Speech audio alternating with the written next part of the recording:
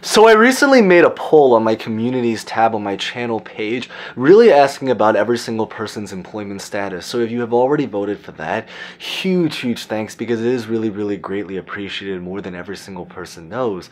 But it's that from looking at it, it seems like apparently there are still a lot of people out there that are still unemployed.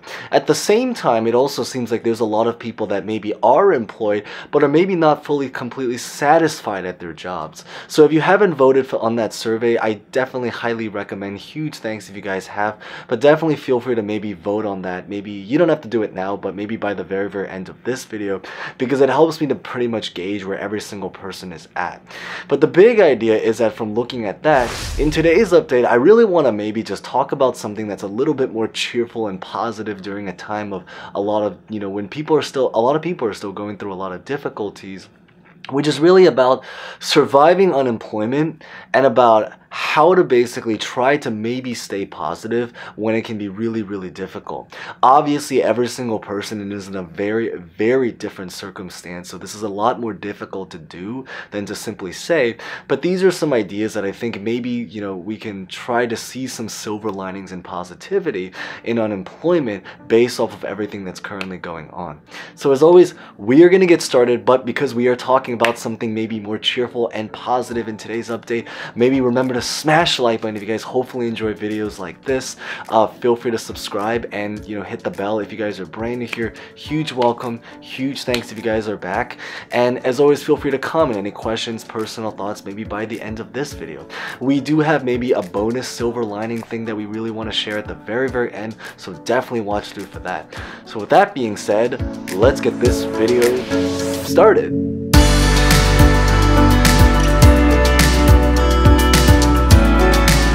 So to start, I think it's really, really maybe important to share a couple of points about it if you are unemployed, is the really about the fact that there are a lot of people that maybe are employed, and you might even be watching this right now, but are not always fully satisfied at the job that they have.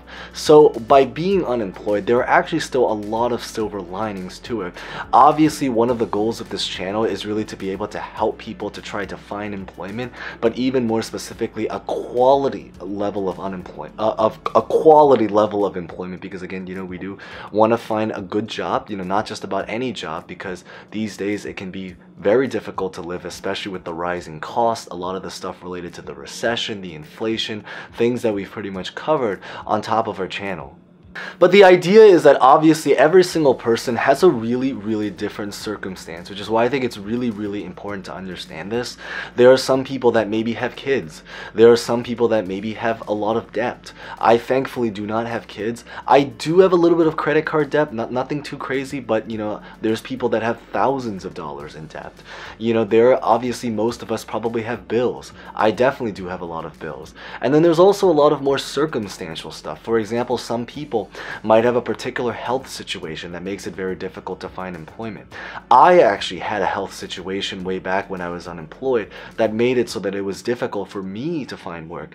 Thankfully, right now, I'm feeling a lot better. I'm able to go out there, work out, lift things, do lots of things. But the idea is, is that every single person has a very, very different circumstance. But I'm hoping that maybe these ideas will try to cater to as many people as we possibly can. Which maybe starts with the first silver lining I think that's really, really cool about being unemployed is really about the amount of freedom that you have. It's really about the fact that because there are a lot of people that might be employed, and this is especially true in the corporate world, but because of the fact that they're now employed, you know, they've actually officially lost their freedom. You know, they're always going to be under the mercy of a boss now. They don't have the freedom to be able to kind of live out and really enjoy. Um, and by specifically enjoy, I mean to just simply live their life. So I don't mean to take extravagant vacations, but there is a little bit of a pleasure when you're able to kind of just wake up every day and do your own thing. This is one of the biggest gifts that you really get when you are unemployed. And it's like the saying how they say, there's a really cliche, but it is a very true statement about how with great power comes great responsibility. And one of the ways of one of one of the examples of power is freedom. The power and freedom to be able to wake up every day to choose what you do, how you spend your time. And I think that's one of the greatest gifts, but you just have to of course again use it responsibly of being unemployed. The second thing I think might be a really really great silver lining to being unemployed is really about time. And it's really about the fact that you might have lost sadly, you know, in a financial sense, you know, it's it's difficult that we've lost a source of income when you're unemployed. But one of the gifts is is that you also gain a lot of time. And that's one of the things that even a lot of very wealthy people don't always have. Um, there's a lot of people that maybe, you know, have a lot of money. And by a lot of money, we're talking about the typical middle class American, middle class tax paying American that maybe has an above salary job, but they're always working you know, going back is that they don't have the freedom to be able to do their own mm-hmm. thing. And they certainly don't have the time because they're inside of the office for 80 hours a week. They're always grinding. You know, obviously, you know, part of this video is really talking about surviving and getting through in terms of mental health. And when you're working for 80 hours a week, that is not necessarily going to translate, even if you are making more money, to necessarily better mental health as well if you don't enjoy your work, if you feel like you're always forced to be somewhere. You know, you're always under the mercy of someone. And by being unemployed, one of the greatest gifts is, is that we might have lost some financial situ you know opportunity sadly. But one of the greatest gifts is is that we have time. And they always say is that time is one of the most valuable resource because no amount of money can buy it. Because as you go forward in time, you can always make more money but as you go forward in time, you can't get the past back. And that's one of the biggest gifts that in the present moment that we are at least able to hopefully be able to enjoy if we are unemployed, which is again a situation that a lot of people here share right now or you know have related to at some point in life. Now, the next silver lining, and it's not necessarily a silver lining, but it's more of something to maybe still be really, really grateful for that obviously, this one I will admit depends on the person, but for, for most, or certainly hopefully as many people that are watching this, to still be grateful for is really about people. And this is really, really important because there are, going back to that example about like working long hours, is that there are a lot of people that might be employed but are spending so much time at their jobs that they start to neglect social life. They start to neglect family. They start to neglect a lot of their people. And so if you are someone that maybe you happen to be unemployed, but maybe you also know a lot of friends that are unemployed, maybe you have a community of other people unemployed, this is a community. Huge thanks and love for being here of people that are unemployed. And so by having people around you, that's something that I think is still really, really cool to be grateful for, especially because a lot of the things that you do in life is going to be very, very dependent on the network and the people that you surround yourself with. We did make a video, in fact, if anything, we've actually made a playlist that talks about surviving unemployment. So there's a video that I made which is really about the number one advice to finding work. And the number one, you know, as a sneak peek advice is about how important is. So I highly definitely recommend checking that video. I'll put a playlist of videos at the very, very end screen. You guys can check that out at the very, very end. But if you are someone that hopefully still has a really healthy circle and a group of people to relate to, that is something to be really, really grateful for that not every single person, even some people that are employed, has and is able to enjoy. So huge love there. Now, the next silver lining is also going to be something that is a little bit more dependent on the person, but I think most people this hopefully really um, can hopefully relate to, and it's something to really be grateful for, which is really about having health. And this is one of the biggest things is, is that because while it might be very, very difficult to have, um, you know, to get through mental health wise when you're, you know, unemployed because of everything that's happening, hopefully for as many of us, again, not everyone, but as many of us that are watching this as we can, can at least be able to get through in terms of physical health.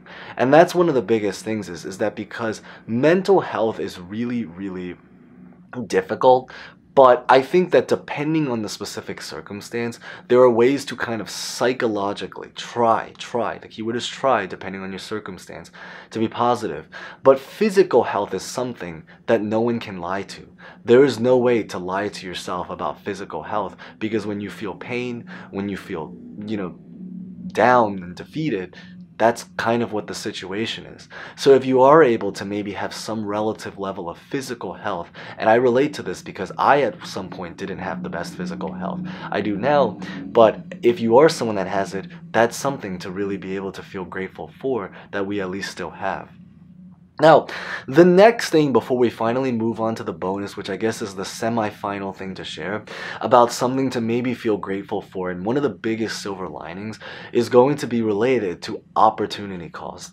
Because I always say is, is that as difficult as it is sometimes to lose a certain something, so in this case we're talking about losing work, and this goes for a lot of things also, you know, losing a relationship, you know, losing a job opportunity. One of the biggest silver linings and gifts is that by cleansing yourself of that particular something, it also creates room to maybe welcome something else new that might be even potentially better. You know, I think about it a little bit like work. One of the reasons why I do what I do today is because I was actually fired from another job. I've been unemployed for uncontrollable circumstances. I've been fired for kind of more about more of an interesting situation kind of uncontrollable but that that's a story for another day.